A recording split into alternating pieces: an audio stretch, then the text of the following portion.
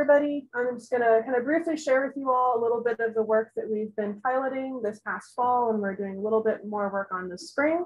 Um, and if you've been out at Emiquon, you might have seen these towers. Um, we just got the one put back up last week by the pump house. And so give you guys a little bit of context for, for why we're using those.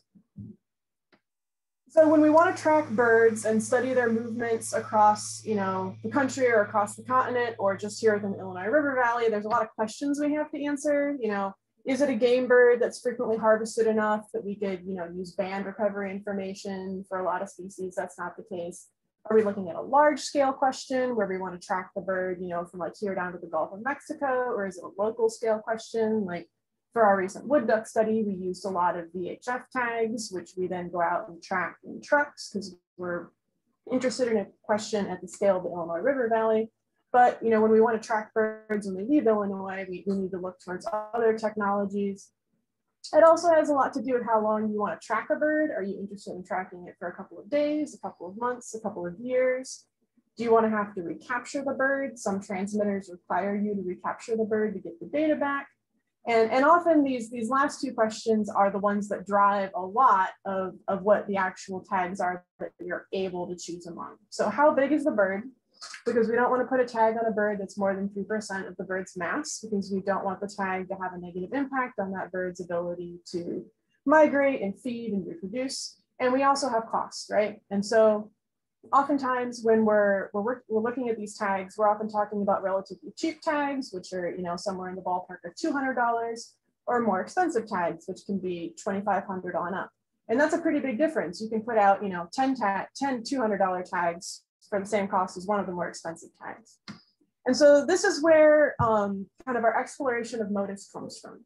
So Motus is a system of automated radio telemetry towers across the Western Hemisphere. Um, it was started by um, Bird Studies Canada in Ontario, and there's now a really good network of towers kind of in the eastern United States, and they're working on expanding it across the Midwest. And what these towers do is allow us to take relatively small, relatively cheap tags. So tags that are small enough to put on a rail, to put on a large songbird, they only cost around $200.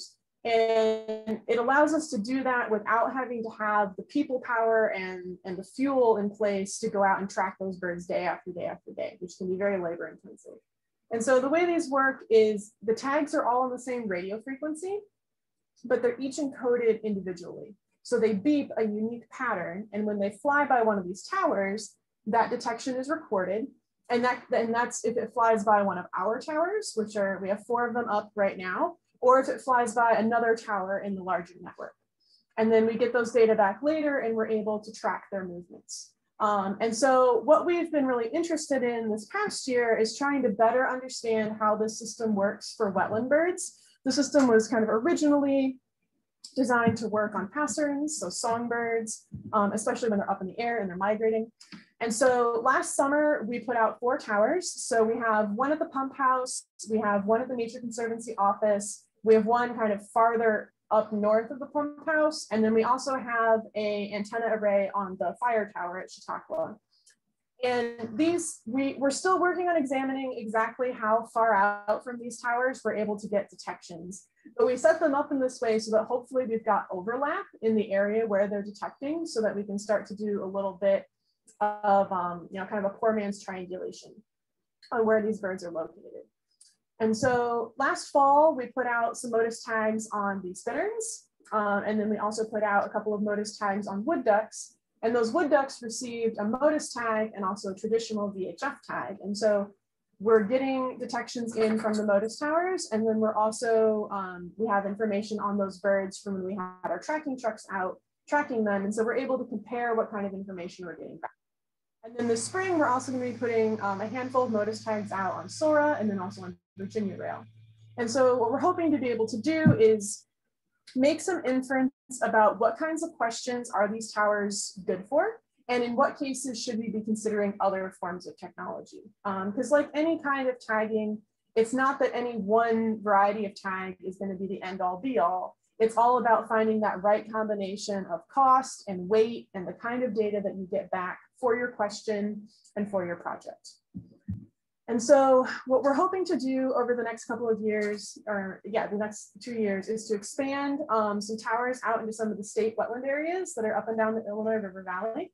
Um, and we're gonna hopefully be able to track the movements of birds among sites while they're doing their stopovers here in the IRV. Um, and so we're gonna be focused on rails for that for the, for the near term, but hopefully bring some other birds into that longer term. And what these towers will also allow us to do is track the timing and the direction of their departures from the Illinois River Valley. Um, so right now, when we put a normal VHF tag on a bird and we're, you know, we go out and we track that bird and we try and, you know, locate it during the day and then we try to locate it at night and do that on a regular basis. We get information about what kind of habitats that bird is using, but we don't, you know, and we can estimate when that bird leaves the Illinois River Valley, but we don't really know what direction it's heading. You know, is it, is it going upriver? Is it going, you know, across trying to cut over to the Mississippi, you know, what, what kind of patterns are these birds following? And, and with these antenna setups, we should be able to get some information as well on what, you know, what day and also what time of day the birds are leaving and what, what heading they have when they're, when they're leaving the area. So we'll be tag tagging Sora and Virginia Rail starting this spring and the following two springs and also the next two falls. Um, and we're really excited to, to see what kind of data we get back from that. And then also to see if those birds get picked up on any of the other towers in the network. Um, that would be, you know, a really nice bonus. It's not really something we're relying on for the project at this point, but um, the, the network of towers here in the Midwest and along the Gulf Coast is certainly expanding. So there is that possibility. Um, and so I want to, you know, pass along huge thanks to Mike Ward and Mike Avara, who are both with the Natural History Survey at the, at the, University of Illinois. They have been really instrumental in helping us get these towers up and working through some of the technological challenges that come with using new tech and um, they've been hugely helpful and you know huge thanks as well to the Wildlife Restoration Program, Illinois DNR for funding this work, um, and the Fish and Wildlife Service and the Nature Conservancy for letting us you know, install this stuff on your guys' property. And we're excited to see where it takes us in the future once we start rolling out some, some real projects versus these kind of pilot explorations. Um, but if you have any questions from what Tom has said, we're not taking them now, but shoot me an email and I'm um, happy to chat. Thank you.